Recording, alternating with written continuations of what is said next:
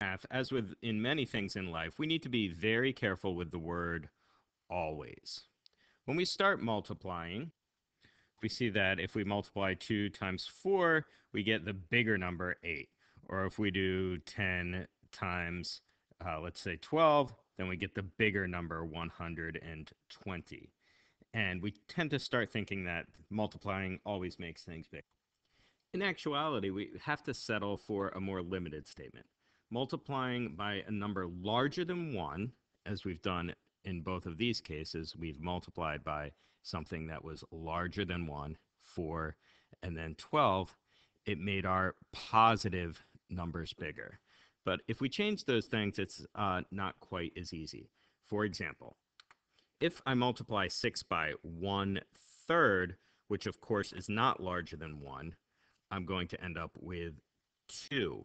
So the 6 does not, in effect, get bigger. Another alternative we might consider is if we took a number like uh, negative 100 and I multiplied that by something um, that was larger than 1, let's say 3, that would give us negative 300.